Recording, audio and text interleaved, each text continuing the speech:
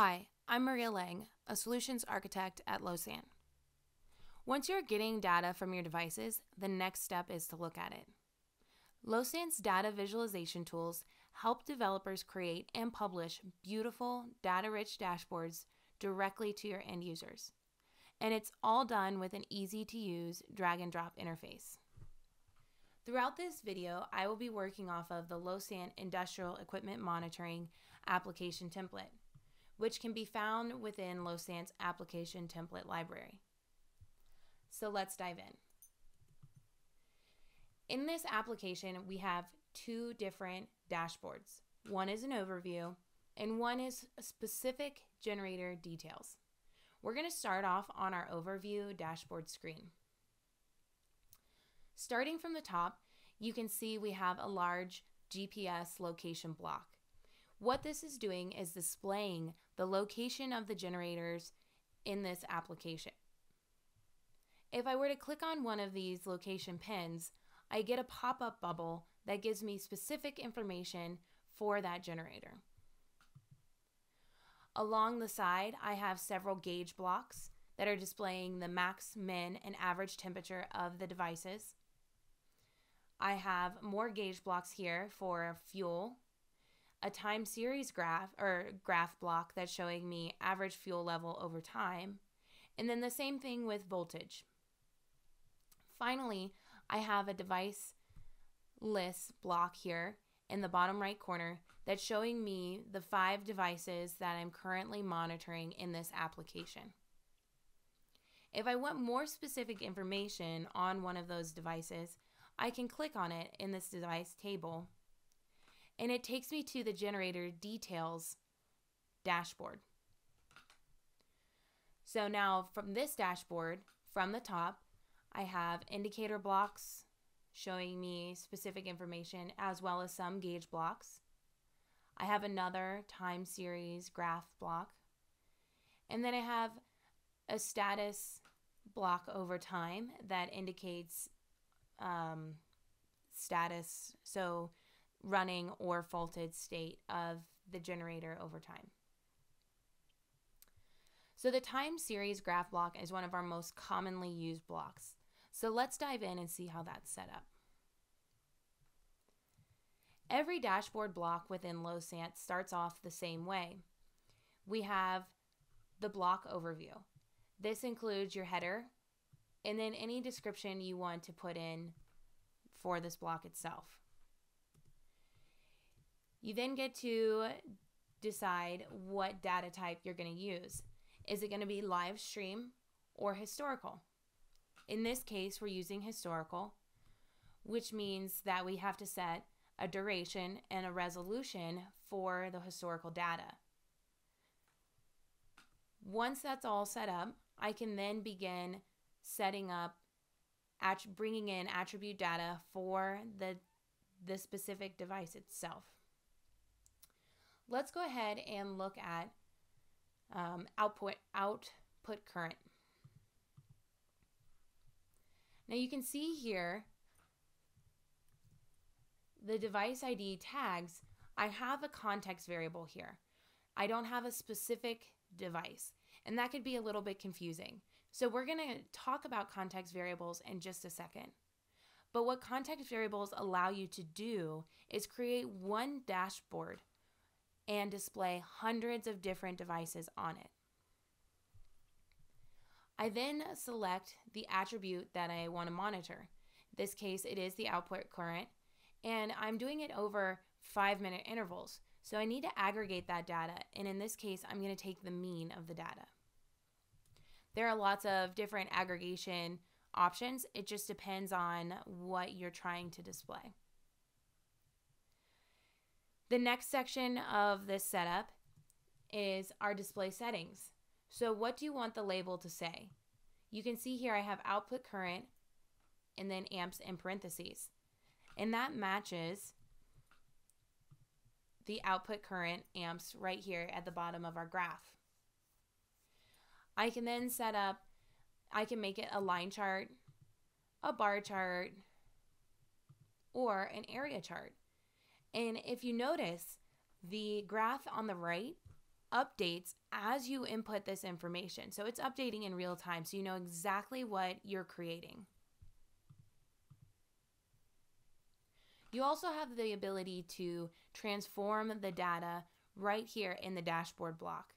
So if you want to maybe convert it to a different unit or something along those lines, you can provide that expression here in the data transformation section and it will do that for you and display it accordingly in the dashboard block. And finally, you have the ability to format the y axis label or the y axis. And this is great because in this case, we have some values that are really high in the thousands. And then we have some values that are smaller, single digit units. So it's helpful to be able to format your y axis and you can have the two different options. So once you're done, you can save the block and it populates it on your dashboard. Once it's on the dashboard, you can drag it, you can make it resize it, and then drag it around and place it in different positions. Now, I mentioned context variables when we were inside the time series graph block. So what so if we want to create a context variable or manage it, you come into your settings for your dashboard and you can click on manage dashboard context. So already I have two context variables built, but let's say I'm going to add one. So you can add one according to these different values. I'm going to do device ID because that's what I'm using in this dashboard. And what you do is you need a unique name that you're going to reference inside of all the dashboard blocks, a default value, and then this block, this checkbox is super important. So if you want to include device tags, those metadata values, you need to click this box. This will also allow you to get all of the attribute data for the device itself. And then finally is this validation. This is a really, this is where those metadata tags come in handy.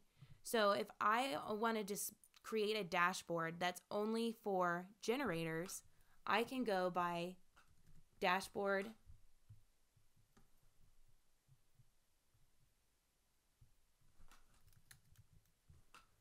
recipe generator. So it's only going to pull up, it's only going to allow devices that were created using the generator device recipe. And that's going to ensure that I'm only showing generators. So if I had two different types of data or two different types of devices I was monitoring, saying a generator and an air conditioning unit, this this dashboard is only going to display generators. So another dashboard block that is very commonly used is our gauge block. So jumping into this, you can see the same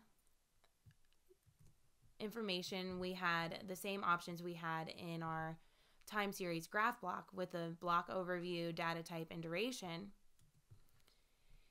Now when I jump into my block data, I have my context variable. I chose manifold temperature, which is what I'm going to display. I want to display the last value that was recorded.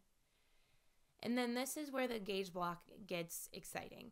You have several different visualization tools. You can display just a number. You can do a dial, a battery, a thermometer, which because we're, we're monitoring temperature, this is the most logical, or say a tank so you could display level. So, like I said, I'm using the thermometer. I have my degrees Fahrenheit here for the label, and then I set a min and a max value for the thermometer itself. Now, once you create, once you put all that information in there, you can now put conditionals into your gauge block. So in this case, if my value is greater than 850, I want the color to be red. It is a great indicator from your dashboard that something is wrong, this generator is too hot. If it's underneath that value, it's going to go ahead and display in green, which is telling me that my generator is operating at a safe condition. If you want to add a dashboard block, all you need to do is come into your settings and hit add block. There are all of these different blocks, pre-built blocks that you can utilize and drop directly into your dashboard. Now, once your dashboard is created, it has the ability to be added directly or displayed directly inside of an end user experience. And from that end user experience, that's where you get the ability to add your own label or your own um, branding and color scheme. And you can drop this beautiful dashboard that you just built directly into it. And that way, anytime you want to make an adjustment, say add a block, resize it, it will go live the second that you do that in your end user experience so that your end user is able to utilize their dashboard to its full capacity. Now, if you have that covers all of the information for data visualization. If you would like to learn more, I would recommend looking into Losant University, which provides a deeper dive into what I covered today. You can also explore our documentation and forums. Or if you're ready to get started and jump into Losant, you can do that today by creating a sandbox account.